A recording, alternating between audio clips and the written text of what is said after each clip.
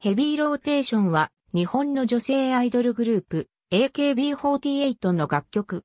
楽曲は秋元康により作詞山崎陽により作曲されている。2010年8月18日に AKB48 のメジャー17作目のシングルとしてキングレコードから発売された。ヘビーローテーションのメガボルトで着用した衣装楽曲タイトルのヘビーローテーションとは本来ラジオなどで頻繁にかけられる曲のことを意味する言葉だが、この曲の歌詞では自分の恋人を24時間思う気持ちを表す言葉として使われている。キャッチコピーは好きな人ができると頭の中はずっとヘビーローテーション。タイトルはヘビロテと略されることがある。楽曲のリリースに先駆けて AKB48 とその姉妹グループである SKE48 の全メンバーのうちから楽曲を歌唱するメンバーをファンが選ぶ投票イベント AKB48-17 シングル選抜総選挙が行われた。このイベントで上位21位までに入ったメンバーが楽曲の選抜メンバーとして選ばれ、12位までのメンバーがメディア選抜としてフロントメンバーとなった。楽曲のセンターポジションは1位にランクインした大島優子が務めた。初選抜は中川遥香。指原里の松井玲奈は涙サプライズ。以来、佐藤亜美奈は言い訳メイビー以来、秋元さやかはリバー以来の復帰。小野エレナはこのシングルが最後の選抜入り。元マイリトルラバーで、現ザ・バースデーの藤井健二が楽曲のギターを弾いている。楽曲は制作終盤で変更された点が多い。イントロ部分の one、two、three、four という大島の掛け声は、デモの段階では存在しなかったが、秋元康が、優子の底抜けに明るいイメージから、1、2、3、4、じゃじゃんで始まるのがいいなと思ったため、急遽付け足された。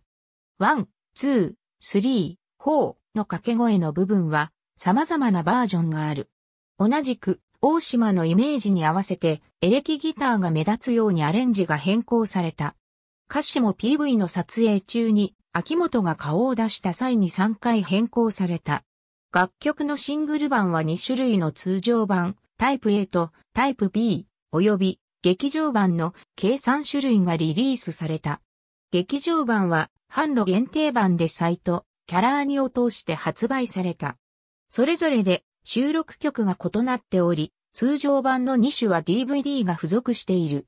また、カップリング曲のうち、涙のシーソーゲームは、AKB48-17 シングル、選抜総選挙で22位から40位にランクインしたメンバーがアンダーガールズとして歌唱している。特典として通常版は全国握手会イベントパードバイネサルテレビ参加券が封入されており、ジャケットがスペシャルホロジャケット仕様となっている。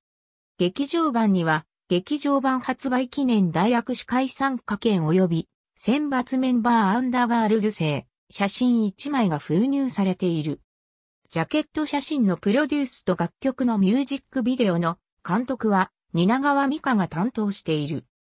蜷川は AKB48 がメジャーデビューする前の2006年夏から AKB48 劇場に頻繁に通う古くからのファンで、かねてより関連作品を手掛けたいという気持ちが猛烈にあったため、本作で長年の思いが叶った。その後もメンバーの雑誌の表紙撮影などを手掛けている。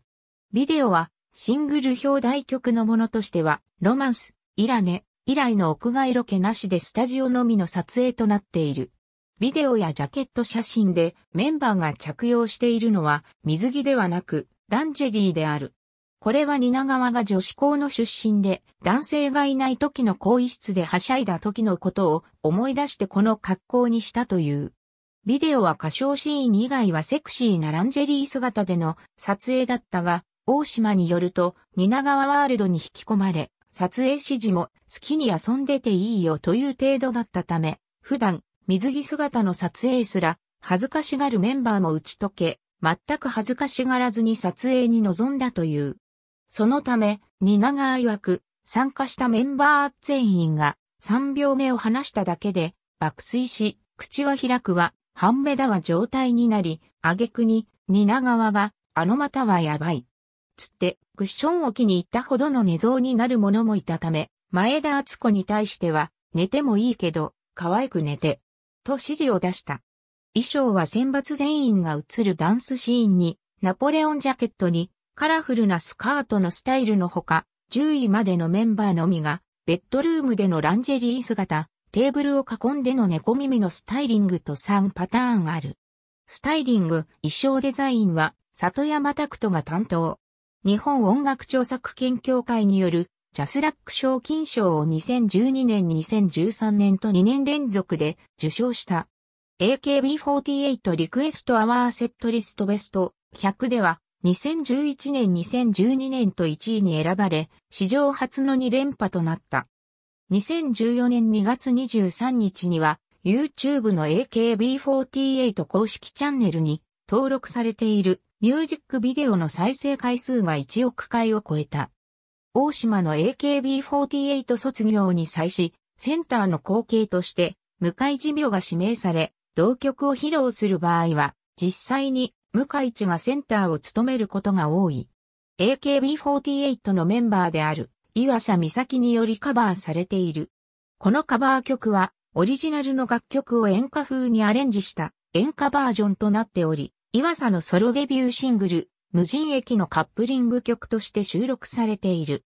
ミュージックステーションでは2010年8月20日、同年12月24日のミュージックステーションスーパーライブ2010、2011年4月1日、2014年3月21日、2015年1月16日の5回、披露されている。2013年7月1日に放送された、へえ、へえ、へえ、ミュージックチャンプスペシャルに限り、イストリゲームで優勝した山本さやかのセンターバージョンが披露された。2015年11月19日に放送されたベストヒット歌謡祭にて、高橋みなみがセンターのスペシャルバージョンが披露された。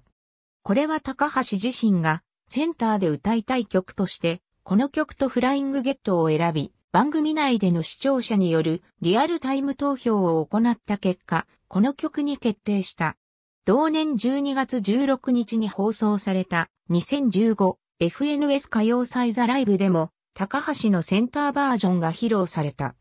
集計初日の2010年8月17日付、オリコンデイリーチャートで推定売上枚数約34万枚を記録。集計2日目の8月18日付で推定売上枚数の合計が40万枚を突破。週間売上では約52万7千枚を記録し、前作、ポニーテールとシュシュの初動売上を超えたほか、初動売上のみでオリコン年間チャート暫定4位にランクインした。オリコン週間チャートでは4作目の初登場1位。女性グループによる2作連続での初動売上50万枚超えは史上初。ソロを含めた女性アーティストでは2000年の宇多田ヒカル、2001年の浜崎あゆみ以来3組目の記録となった。以降ロングセラーとなり、連続103週、通算では123週チャートインし、累計売上は88万枚を突破した。2010年度のオリコン年間シングルチャートでは、自身のビギナーに次ぐ2位にランクインした。翌2011年度の同チャートでは52位にランクインし、2年連続で100位以内に入った。2010年8月25日発表のレコ直週間ランキングで、着歌着歌フルビデオクリップ、着信ムービー、着信メロディの各ウィークリーランキングで5冠を獲得した。2010年11月1日付から2011年8月22日付までのオリコン週間カラオケチャートで表題曲ヘビーローテーションが43週連続1位を記録し、約6年ぶりに記録を更新した。その後も記録の更新を続け、同年10月3日付のランキングで同じく AKB48 のフライングゲットによって記録は48週で途絶えた。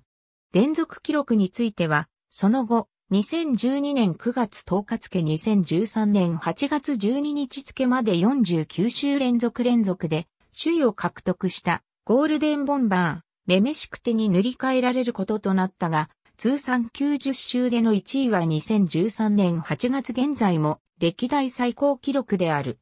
2011年度、2012年度のオリコン年間カラオケチャートで表題曲ヘビーローテーションは2年連続1位を獲得した。楽曲は以下のメディアで使用された。他にもバラエティ番組などで AKB48 が紹介される際には会いたかったと並んでこの曲が使用されることが多い。また、2017年には乃木坂46が歌唱するヘビーローテーションが春山商事の CM に使用された。ドラえもんの実写 CM ではジャイアン役を演じた小川直也がこの曲を披露している。カップリング曲の歌唱メンバーは下記と異なる。詳細については AKB48 関連の楽曲一覧を参照括弧内は AKB48-17th シングル選抜総選挙における順位。AKB48 の姉妹グループであった SNH48 は本楽曲を無人戦店のタイトルでカバーし、グループのデビュー EP としてリリースした。EP 版は2013年6月13日に、久な音楽から発売された。特典として選抜メンバー製、写真1枚が封入されている。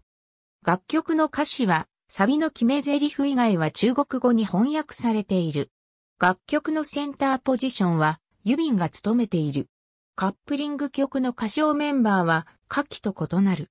詳細については、SNH48 の楽曲一覧を参照。